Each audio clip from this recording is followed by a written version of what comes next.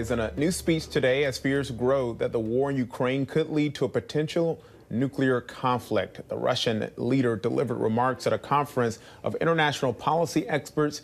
He accused the West of playing a, quote, dangerous and bloody game and seeking global domination. The West in recent years, and especially in recent months, has taken a number of steps to escalate. Well, as a matter of fact, they always play for escalation. There is nothing new here. This is the incitement of war in Ukraine. These are provocations around Taiwan, the destabilization of the global food and energy markets.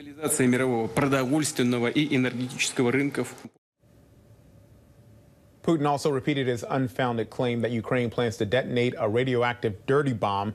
This just one day after Russia and NATO held pre planned nuclear drills. Joining us more now, ABC News foreign correspondent Tom Soufi Burridge, live in Kiev, Ukraine. Also, ABC News contributor and former State Department official Steve Ganyard. Good to see you both. Tom, let me start with you. Putin also denied any intention of using nuclear weapons in Ukraine.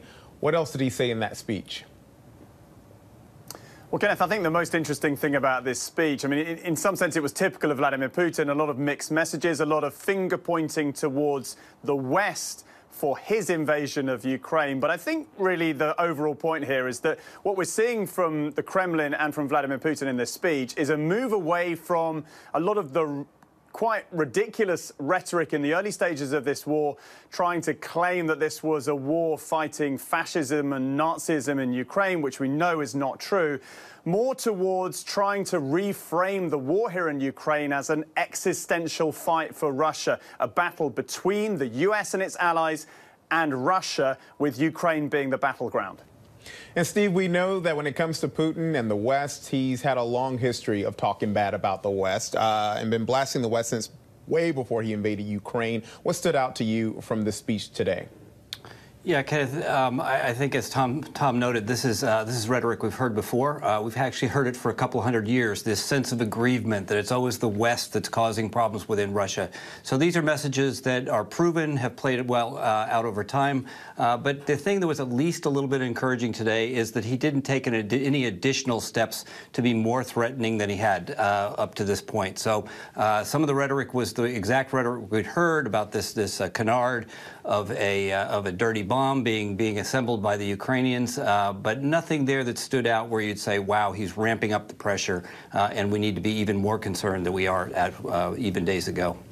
And with so many adversaries, Steve, uh, a man like that is likely looking for friends. Uh, we heard Putin mention Taiwan in that clip earlier. Is mm -hmm. he trying to ally himself with China against the West?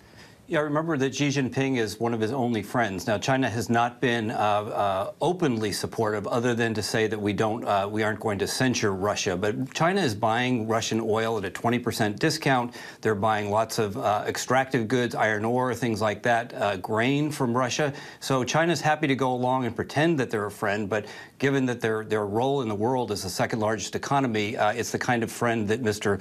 Putin needs at this point. So it's very interesting that it's the West against Russia, but that's the same language we're hearing out of Xi Jinping, that it's the West against China. And so Putin was throwing a bone there to Xi Jinping, saying, yeah, it's the same thing that they're doing to China with regards to Taiwan. Mm. And Tom, the U.S. and its allies are rejecting Putin's unfounded accusation that Ukraine is planning to detonate a so-called dirty nuclear bomb. Uh, now Ukraine is warning of a potential Russian false flag attack at the Zaporizhia nuclear power plant. What more are you learning about that? Well, senior Ukrainian officials within the last 24 hours have repeated those claims. I mean, look, there is nothing to substantiate that apart from the fact that Russia controls the Zaporizhia nuclear power plant. Therefore, it controls the radioactive toxic waste there. And really, the rhetoric coming from Russia over the last few days is worrying. And it's worrying because Russia has form on this. We know in the past, over a matter of years here in Ukraine, Russia has done these false flag operations where they've said that something's about to happen. They've accused Ukraine of it, and then they've carried out the action themselves. But the massive caveat to this is it's very, very hard to second guess Russian disinformation. There's so many mixed messages coming out of the Kremlin right now very worrying rhetoric, escalation rhetoric, but whether or not Russia will carry out this type of dirty bomb tactic is very, very hard to prejudge. But, you know, the West, the US is not taking any chances on this. US officials saying they are warning Russia that if it does carry out this type of attack, there will be consequences. Well, mixed messages and uh, escalating rhetoric.